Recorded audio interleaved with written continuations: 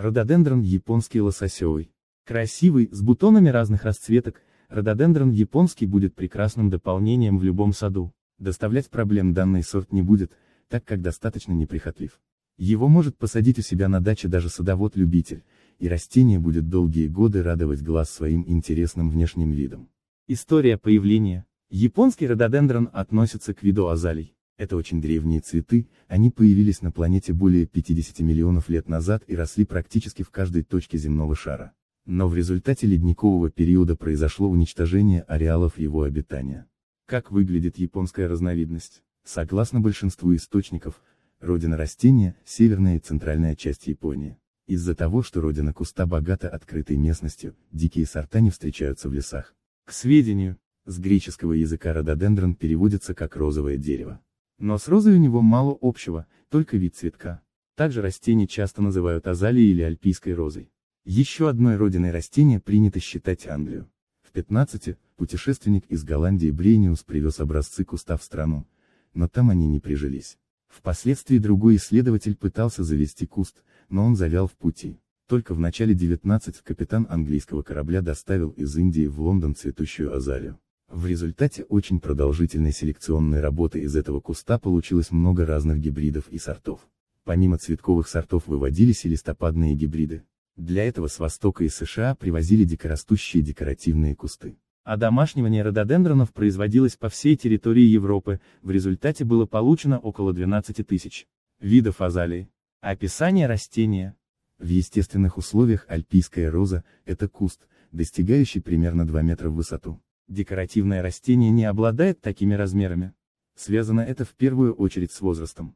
Дикая азалия растет на протяжении 80 лет, искусственно созданный вид, около 50 лет. Обратите внимание, благодаря различным окраскам цветов рододендроны могут в одиночку стать прекрасным украшением сада. А их оригинальный вид будет напоминать об азиатской культуре. В корейской национальной кухне часто используется рододендрон, из него готовится традиционное национальное блюдо чинталэ хваджон. А лепестки растения добавляются в начинку рисовых пирожков. Популярные сорта японского рододендрона. Классический цвет японского растения оранжевый, но также есть сорта, обладающие другими яркими расцветками. В России наибольшую популярность приобрели следующие сорта. Рододендрон листопадный японский лососевый. Характерной чертой этого сорта стали не только яркие и пышные соцветия. Его высокая зимостойкость позволяет выращивать не только в средней полосе, но и в Подмосковье. Данный вид можно определить по некоторым признакам. Лососевый лучше сажать рядом с забором. Куст может достигать высоту 2 метра. Распустившиеся.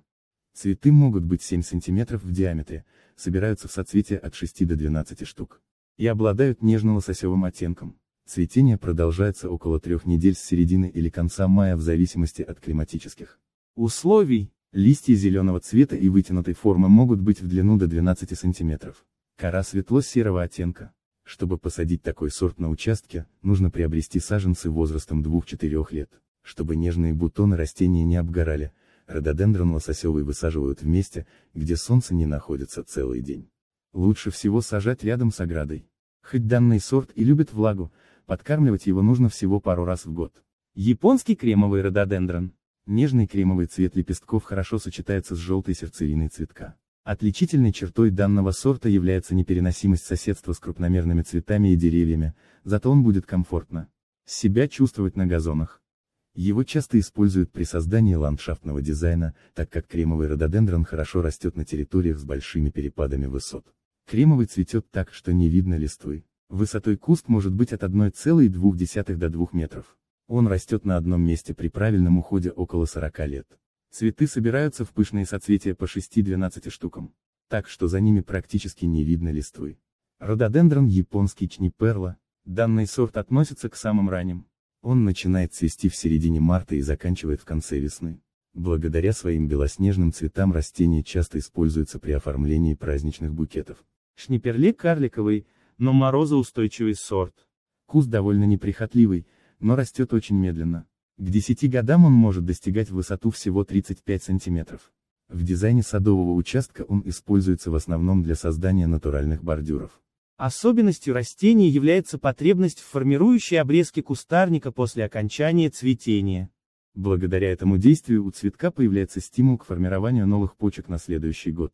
К сведению, данный вид обладает очень высокой морозостойкость, он может расти при температуре 29 градусов, поэтому очень популярен у садоводов Урала и Сибири.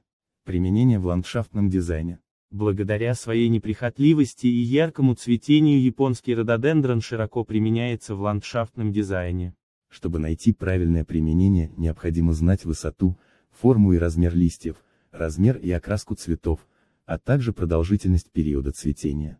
Также следует знать, как каждый конкретный сорт переносит различные погодные условия.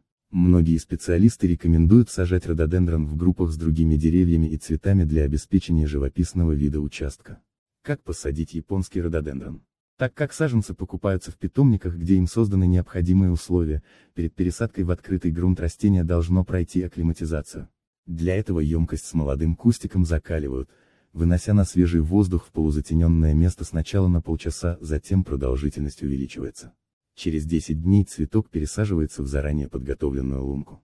Выбор и подготовка участка для посадки. Кусты рододендрона рекомендуется сажать в таком месте, где солнце появляется только в начале или конце дня.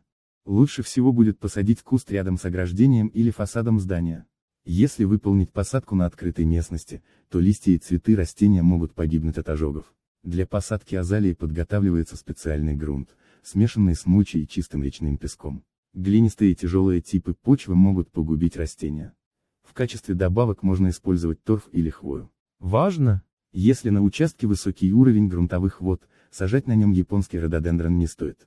Можно сделать это на возвышенном месте с созданием дренажа и канавки для отвода воды. Размножение, Японский рододендрон можно размножать несколькими способами, черенками, отводками и делением старых кустов. При черенковании весной срезается веточка длиной 15 см и с нее удаляется несколько нижних листьев. Черенок помещается во влажный грунт, в котором она будет находиться 2-3 месяца до укоренения. Если корневая система развилась достаточно хорошо, то в августе можно производить пересадку в открытый грунт.